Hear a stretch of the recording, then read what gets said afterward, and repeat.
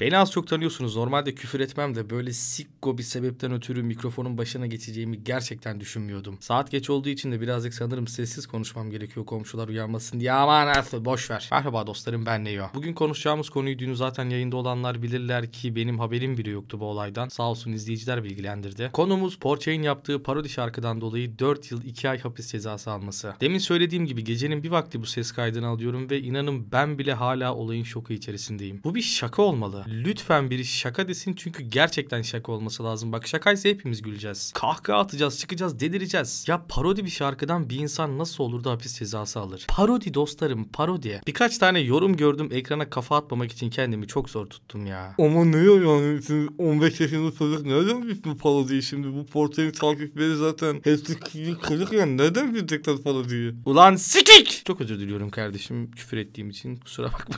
Güzel konuşacağım tamam bir şey demeyeceğim özür diliyorum. Bak tamam Porsche'yi suçlayanlardan özür diliyorum. Şimdi bir insan sosyal medya işi yapıyorsa elbette hareketlerine bence de biraz dikkat etmeli. Ben bunu kabul ediyorum ama Porsche için geçerli değil. Çünkü Porsche'nin yaptığı bir şey yok anasını satayım. Hani ortada bir suç yok arkadaşlar. Bir insan nasıl parodinin anlamını bilmez? Yaşı kaç olursa olsun nasıl bilmez? Farz edelim parodinin anlamını bilmiyor ve bir şekilde işte bunun gerçek olduğunu düşündü. Tamam bunu da farz edelim. Çok ofansif ama bu kadar mal bir insan var ya. Hani tamam olmadığını düşünmek istiyorum ama farz edelim var. Ya arkadaş bir insan sürekli olarak bir şeyler yaparken şu çocuk beni izliyor, bu çocuk beni izliyor, parodinin ne olduğunu bilmiyor, şunun ne olduğunu bilmiyor diye diye kendini bu kadar kısıtlayamaz ki. Kaldı ki Porsche'nin hiçbir suçu yok dememin sebebi Porsche bir mizah kanalı. Açıklama kısmına bakarsanız zaten anlarsınız. Yani bir insan sürekli kendini böyle kısıtlarsa o zaman muhtemelen hiçbir şey söylememesi gerekiyor ve insanlarla muhatap olmaması gerekiyor. Hatta bir kanalının da olmaması gerekiyor. Bu kadar her şeyi örnek alacak işte ot içiyorum parodisine bakıp orada eşek kadar parodi yazmasına rağmen ulan ne kadar şavalı ya ben kesin ot içmeliyim falan diyorsa ve küçücük çocuksa ve bir şekilde bunu temin ediyorsa emin olabilirsiniz yani bu parodiden çok daha tehlikeli şeyler var. Ortada daha büyük bir problem var. O çocuk nasıl ota erişebiliyor? Annesi babası hiç mi bakmıyor bunun ne izlediğine, nerede takıldığına, ne içtiğine, akşam nasıl geldiğine eve? Bunun büyük bir çoğunluğunun ailenin problemi olduğunu düşünüyorum. Bak beni az çok tanıyorsunuz. Rap hakkında onlarca video yaptım ve hepsinde aynı şeyi söyledim. Onlarca rap şarkısı var. Uyuşturucuyu öven, meşrulaştırılmaması gereken şeyleri meşrulaştıran, bu tarz uyuşturucu maddelerin içilmesini çok havalı olarak gören bir sürü örnek var. Bir sürü. Ya kötü örneği geçtim. İnsanlar hala işlediği suçları öven şarkılardan bahsediyor. Onların hiçbirisinin cezası onanmıyor sürekli erteleniyor. Bu trap'in patladığı ve herkesin uyuşturucu müptelası gibi ot içmeyi havalı sandığı en yaygın dönemde bunun parodisini yapan ki bunun parodisinin gerçekten yapılması gerekiyordu zaten. Bu insanın mahkemeye çıkartıp bir de üstüne ceza veriyorlar. Bu arada daha büyük bir suçu gösterip alttaki suçu böyle pasifize etmiyorum. Yani Porsche'in çünkü bir suçu yok anasını satayım bak. 50 kere söyleyeceğim bunu video içerisinde. Yok arkadaş yok ya. Ulan keşke olsa da desem ki işte bence şu şu konuda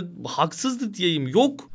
Alkışlamaktan başka elimden bir şey gelmiyor. Tam bizlik bir karar abi. Hem şaşırdım hem de şaşırmadım. Ya affedersiniz de cidden başım belaya girecekse bile umurumda değil bir şey soracağım. Bu kararlar kaç yerden geçtiyse ve kimler tarafından verildiyse bu kişiler uzayda mı yaşıyor? Çünkü bu adam bildiğim kadarıyla birkaç yıldır mahkemeyle uğraşıyor. Yine çünkü bu bir parodi ve hakimin parodinin ne olduğunu bilecek kadar sözlük bilgisi olduğunu düşünüyorum. Ya tabii atanmadıysa.